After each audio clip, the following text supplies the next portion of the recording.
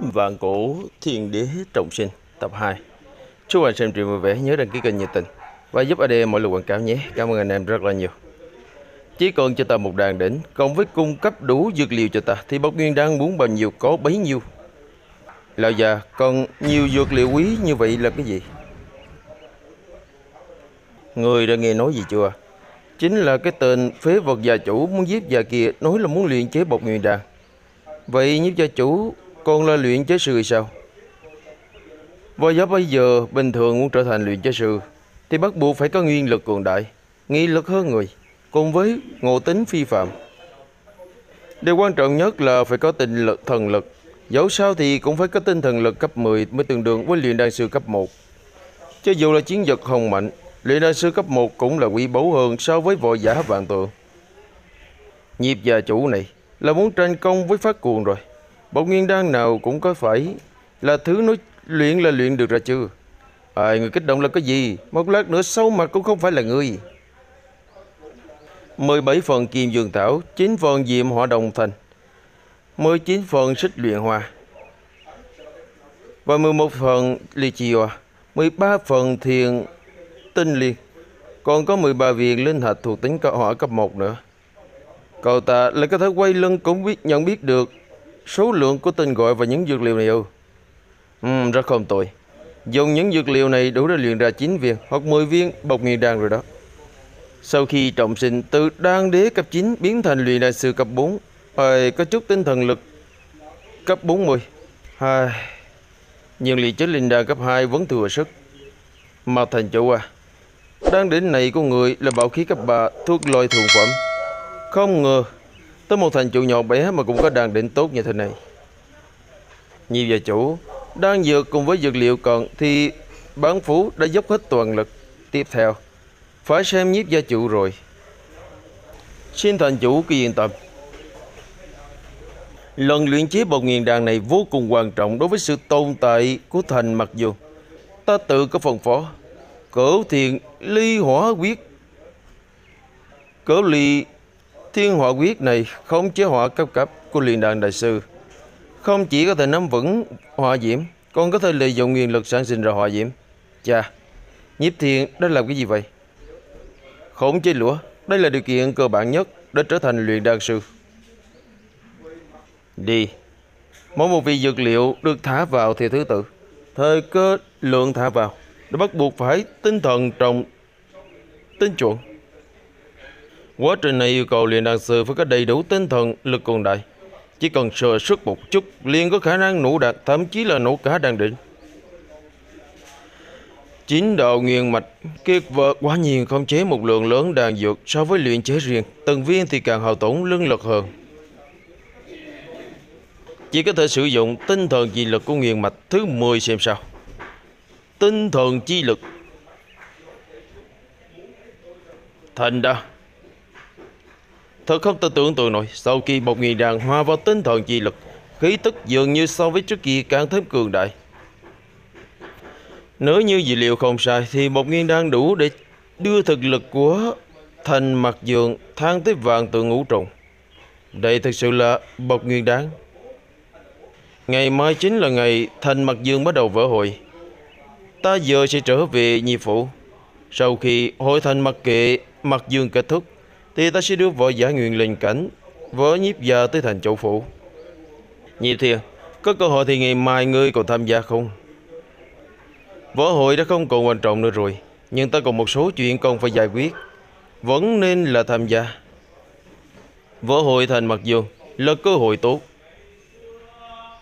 Đã đáp ứng đường thập tam với chết ba tự luận Vậy thì chỉ định cố mà thôi, Tham gia vậy. Gia chủ quay lại rồi. Gia chủ người về rồi. Ngày mai chính là vô hội của thành Mặc dù. Gia chủ nhất định phải nhì nhiếp dạ Mà lấy được hạng đầu của vô hội đó. Khoảng thời gian ta không ở đây Thì trong nhà mọi chuyện đều đã kết thúc rồi. Vẫn được tính là thái bệnh bà già Cũng không tìm được chúng ta dây phiền phức, Dường như ác phận không biết Chỉ là nhiếp tạm thông không biết đã gặp phải chuyện gì, Mà bây giờ tôi vì đã bị vỡ bỏ mà quay về. Tự dân trong lòng nhiếp tạm thông rõ ràng ngày sau không cần phải quan tâm đến hắn Nhiếp tam thông bị phế bỏ tu vi thế giới này là hình phạt lớn nhất đối với kẻ có mưu đồ làm loạn như người. Lẽ nào gia chủ đối đãi với trường bối trong gia tộc như vậy sao?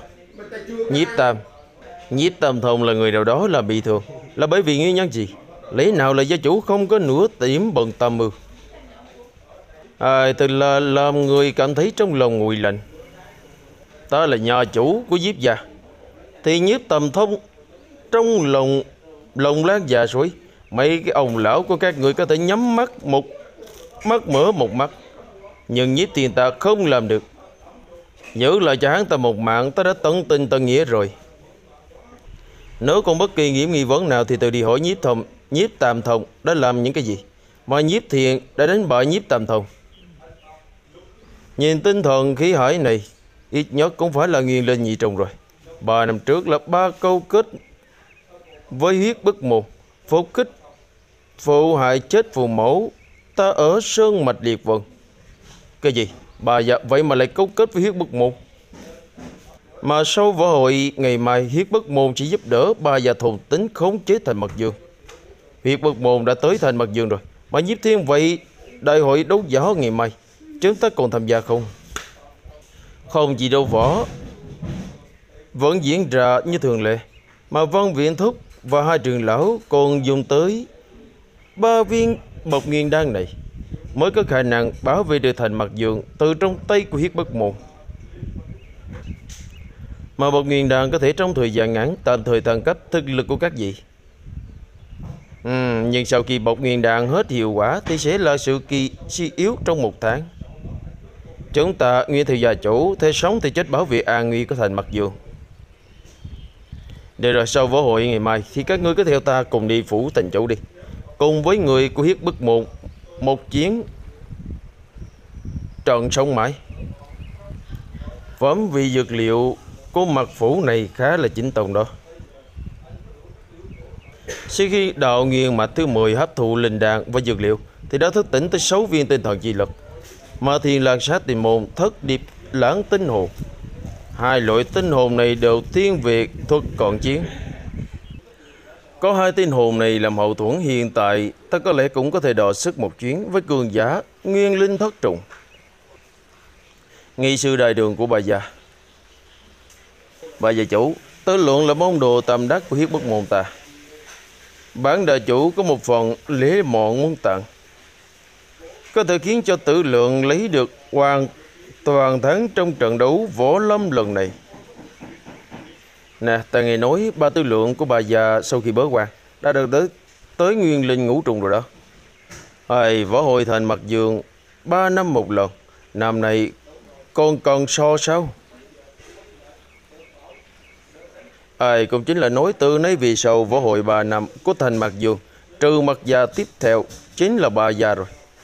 Ai đúng vậy Ai bảo vị gia chủ kia của nhiếp gia không chịu hàng hái tranh đoạt chưa Nhiếp thiền Không phải đây là gia chủ rồi sao? Tại sao còn cần vào sân thi đấu Mà gia chủ mới gia thành mặc dù. Gia chủ chịu không nổi Kích thích người trẻ tuổi mà. Vẫn luôn thích cùng một chỗ với người trẻ tuổi. Không biết mật thành chủ cảm thấy ai sẽ là người đứng đầu của võ hội lần này. À, nhìn cái giảng lực này của ta này. À, lệnh thiên kim chắc cũng vào sân thi đấu rồi. Võ hội năm nay cũng thật là đặc sắc mà. Hai. Bản tình chủ cho rằng, người đứng đầu của lần võ hội này cũng sẽ giống như ba năm trước. Vẫn là nhiếp thiên của nhiếp gia. Thành chủ đại nhân quá khen. ta chưa từng chặt đầu một tên phế vật nghiền mạch cấu trùng mà muốn lấy được cái hàng đầu. Thật là chuyện nực cười. Đại hội so tài chính thức bắt đầu. Trận đầu tiên, Nhiếp Thiền đối chiến với Mã Dương, Ba Từ Lượng đối chiến với Nhiếp Sơn. Mã Dương, 20 tuổi, nguyên mạch bát trùng. Thật là nghĩ không thông, thực lực kém như vậy mà tự tiền của ngươi là lấy từ đâu vậy? Nhiếp Thiền, Ngươi cho rằng bản thân vẫn còn là thiên tài ba năm trước thì sao? Làm phế vật ba năm, không nghĩ tới người sẽ có một ngày đứng trên võ đài. Thật là làm cho người ta cảm thấy ngồi im muốn à. Mấy ngày này, đồn thổi ngươi vùng dậy là mưa làm gió khắp thành. Làm ta thấy xem ra cũng chỉ có vậy thôi. Viêm dương quyền. Ăn một quyền của ta đi. Ừ? Cái gì? Mạnh, mạnh quá. Trận thứ nhất, nhiếp thiền thắng. Đây là thực lực của cảnh giới nguyên linh sao? Nhanh, nhanh quá. Ta vậy mà lại không nhìn rõ ra được hành động. Cùng thời gian đó, một bên khác của lùi đại. Nhịp sơn 19 tuổi, nguyên mạch thất trọng. Cả đời này người có hối hận chuyện gì không? Bà tự lượng, người lõm nhóm cái gì vậy? Nhịp sơn ta đi, không đổi tên ngồi không đổi họ. Không có gì mà phải hối hận cả. Ai không không không, người nên hối hận bản thân vì đã theo sai chủ. Càng hối hận hơn là bản thân không nên mang hồ nhiếp. Bà tự lượng, ngươi muốn cái gì? Đây chính là võ giả của nhiếp gia sao Không chịu nổi một đò Nhiếp thiền Ở trên lối đài này ta muốn người của nhiếp gia Các người tất cả đều chết trên tay ta Tất cả những võ giả mang nhiếp gia Rút lui khỏi võ hủy Ai vô nhiếp gia chủ Đây là chơi không nổi nữa sao? Chưa tiệt. Trận thi đấu này căn bản còn quan trọng Không nhất thiết phải tăng thêm nhiều thương vong Có một mình ta là đủ rồi. Hội trường đấu võ Võ hội đã quyết định ra bốn người mạnh nhất Đó chính là Nhiếp Thiền, Ba Tư Lược, mặc dù Hy và Mã Cương thi đấu quyết định giữa bốn người mạnh nhất bắt đầu. Trận đầu tiên, Nhiếp Thiền đối chiến với mặc Hy.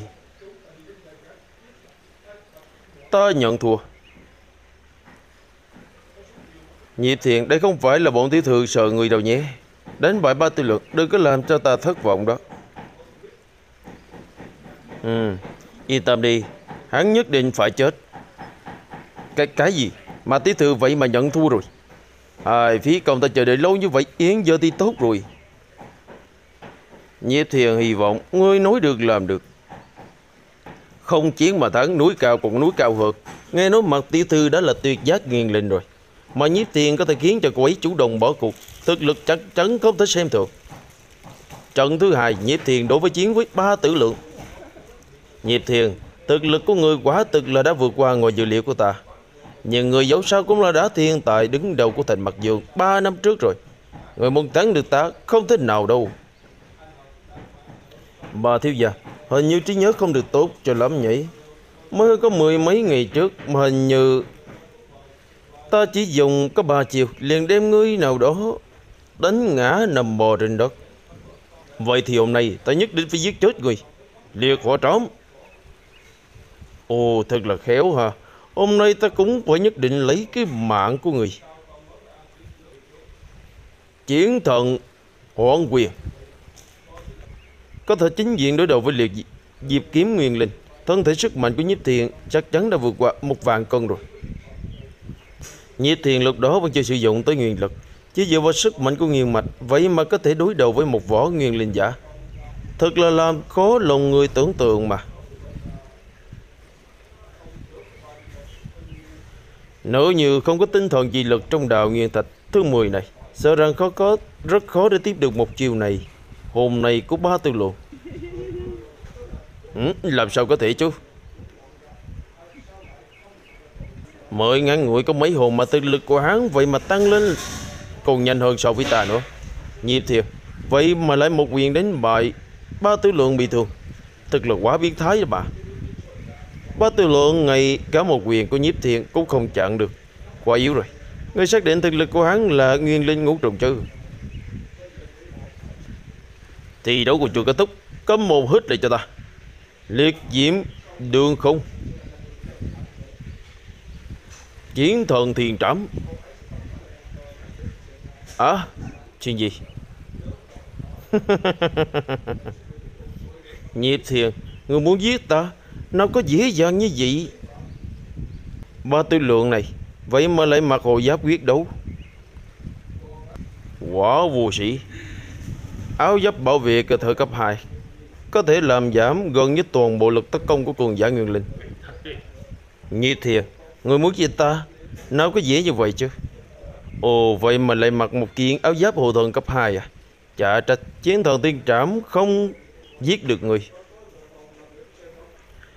Áo giáp hộ thần này chính là một trong những kiệt tác do đàn chủ của huyết bức môn tặng cho ta. Nhị thiền cứ cho chiêu chết đi. Dùng hộ giáp mặc dù có hơi vô sĩ nhưng lại không được tính là phạm vi tắc. Nhưng mà những thứ này cũng không thể nào thay đổi được kết quả.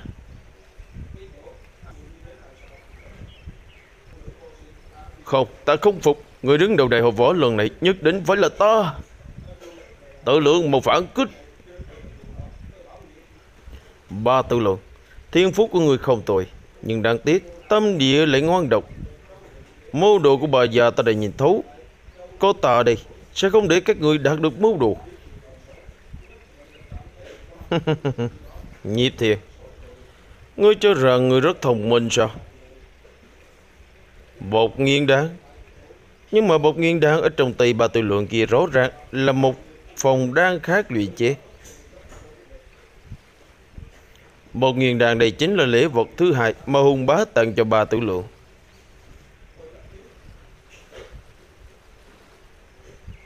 Trong nháy mắt, bá tư lượng đã đạt được thực lực nguyên linh thất trùng. Nhiếp thiền, hôm nay ta sẽ cho ngươi mở mang một chút uy lực của bột nguyên đan. Đây là hắn ta muốn thông qua đốt cháy khí của bản thân, tăng cường tấn công nguyên linh sao?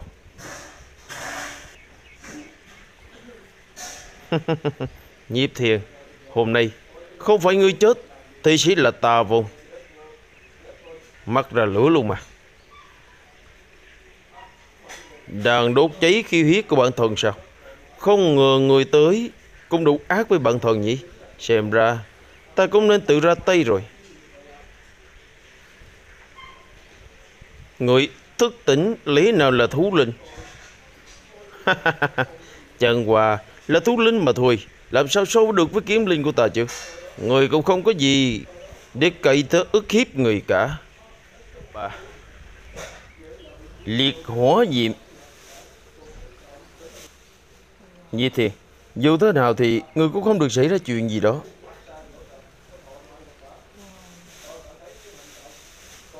Huyệt khí Chính là sinh mệnh lực võ giả huyết khí không còn. Võ giả cũng chính là cách cách chết không xa. Bao từ lượng ta được ngược lại, Muốn xem xem Huyết khí của người còn bao nhiêu.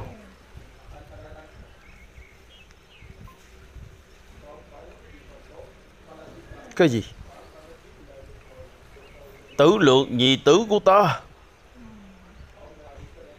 Đồ súc sinh ta muốn xé xác người ra, Nghiền linh cổ trùng. Trả lại mạng của nhị tử cho ta. Bào lễ, Ngươi thật là lớn một hơ Là dám ngang nghiêng Vi phạm vào quy tắc của võ hội. Ông chết giận, Mặt mũi là buồn nhìn sao? Bà lầu cổ Nhi tử người vô sĩ. Người so với nhi tử của vua sĩ hơn Đại hội đấu võ vốn là một trận chiến công bằng. bà tự lượng dụng hộ giáp cùng bộc nguyên đan còn chưa nói tới.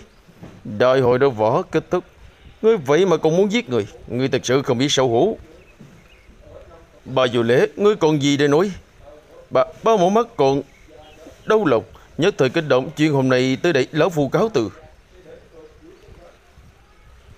Sau tối này, ta muốn tất cả các ngươi quỳ dưới chân ta. Nhất định sẽ khiến hói nhờ nhiếp, Mặt bôi tội cho cùng trời ta.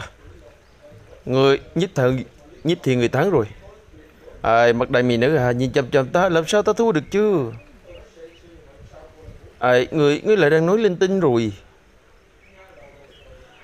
Đàn chủ bà tự lượng đã chết, Nhân tài hiến giận cho tổng đàn, Chỉ còn lại đường thập tam Nhiệm vụ mà tổng đại giao phó Người chết rồi sợ rằng không dễ bàn giao Ngộ nhớ phải chịu phạt thì ngươi và ta đều không thể tránh vác được.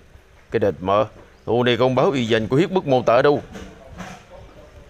Lúc ban đầu khi bà tư lượng vào đường thập tam gia tuyến chọn vào danh ngạch của tổng đà, thì ta đã cảm thấy đường thập tam thích hợp hơn so với ba tư lượng.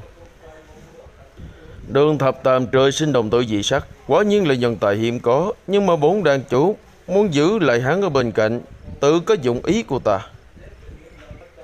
Đàn chủ, ba từ lừa đã chết rồi. Vậy tiếp theo chúng ta...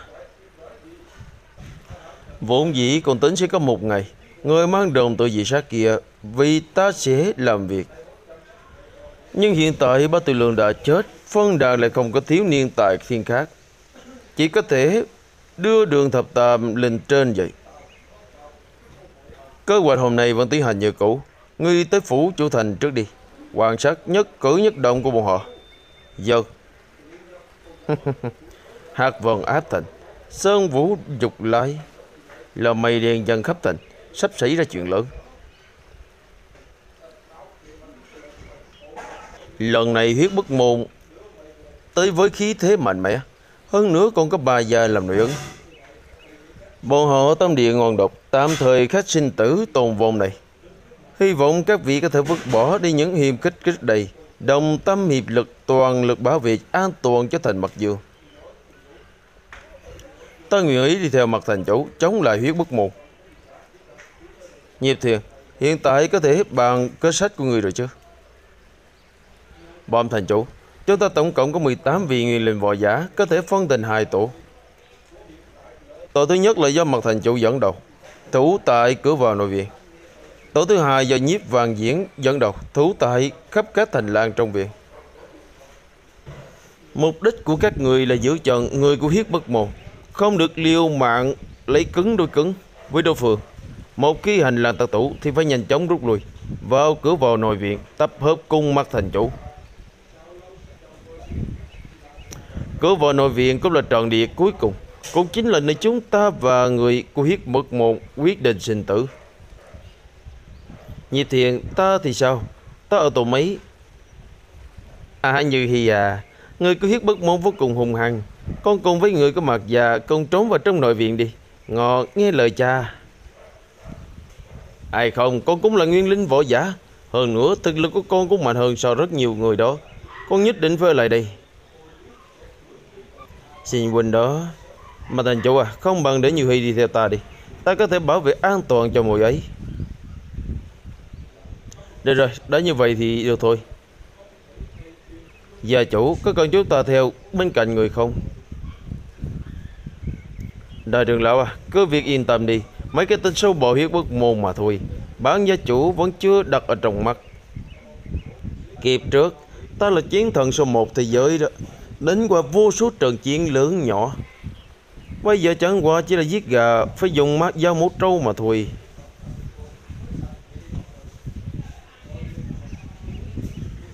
Đường thập tam, Nếu đã tới rồi thì ra đây đi. Hả, cái gì nhịp thiền Quỳnh nói cùng với ai vậy? Nhịp thiền, Ngươi quả nhiên không làm ta thất vọng. Cũng không ngờ tới là Mặt tiểu thư vậy mà lại là người của Có được thần hoàng ẩn. Á à, người lạ vậy. Đường thập tam Bằng hữu của nhiếp thiền. Đường thập tam Ta đã cho người Thứ người muốn rồi.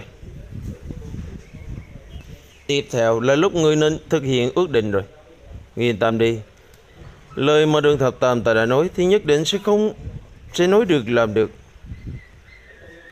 nhưng mà hiện tại ngươi vẫn chưa có tư cách gặp người đó. Ta không có tư cách gặp đường hào à. Hơn nữa hiện tại ngươi còn có chuyện còn xử lý, không phải sao? Vậy ngươi tính lúc nào thì tìm người giúp ta? Rất nhanh thôi. Nhưng mà đừng để có để ta phải chờ lâu. Nếu không phải thấy người cái chút quan hệ với đường hào, Thì lão phu nhất định sẽ lập tức dùng tay sẽ rách cái tên tiểu quỷ xấu xa nhà người. Nhị thiền vị bằng hữu của huynh này có lai lịch thế nào? Các huynh làm sao quen biết được vậy? Hắn ta là người của hiếp bức mù À hắn ta là người của hiếp, hiếp, hiếp bức các, các, Vậy các người. Ta gia nhập hiếp bức môn là bởi vì Có thể tiến vào tổng đà tìm một người. Người kia rất quan trọng với người. Người kia đã trở thành gia thủ của hiếp bức mù Ừ. Nghe nói người của tổng đà hiếp bất môn đều rồi dấp phân đà đề cử lên. Như vậy mới nói, Ba tư lượng là đối thủ cạnh tranh của người. Hơn nữa, rất có khả năng có thể thắng được người. 4. Phân đà chủ có mưu đồ riêng với chồng mất nầu quý của ta. Sẽ không thả cho ta đi. Thì ra là như vậy, cho nên ngươi muốn mượn đau này giết người. Thời gian không còn sớm nữa Coi như là bồi thường cho người Ta sẽ không đem chuyện nơi nơi này nói cho kẻ thù của người. À đúng rồi, quên nói cho các người. Hai người các người cũng khá xứng đôi đấy. Rất có tướng phù thề. À thật ra ta cũng cảm thấy như vậy đó. Ai nhiếp tiền cái đồ vô sĩ là chiếm tiện nghi của ta. À dạ đâu đâu đâu đâu đâu. Ừ. Loạn chiến rồi. Màu Huyết tẩy, phủ thành chủ. Huyết tại phủ thành chủ, Giết chết bứng lục tuổi. Súc sinh, Hiếp bức một, tất cả đi chết hết cho to. Văn Nguyễn Quỳnh Đối phó với lũ xấu xa này, Chúng ta vẫn nên tốc chiến tốc thắng đi. Tốc chiến tốc thắng, Các người có hơi tự tin thật quá rồi đó. Bột nguyên đàn Các người vậy mà lại có bột nguyên đàn Lại số lượng còn nhiều đến như vậy?